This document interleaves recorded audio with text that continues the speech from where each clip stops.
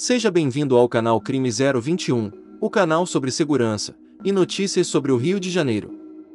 Os traficantes do terceiro comando puro entraram novamente no Morro do Juramento, CV, em Vicente de Carvalho, na zona norte do Rio de Janeiro. Para baquear os rivais, os traficantes do Complexo da Serrinha, TCP, entraram na divisa com o Morro do Juramento.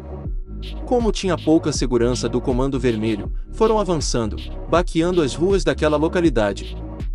Para irritar os rivais do CV, tiraram fotos fazendo o símbolo do TCP e divulgaram nas redes sociais.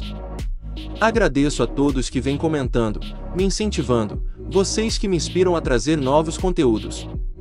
Se gostaram, clique no gostei e se inscrevam no canal.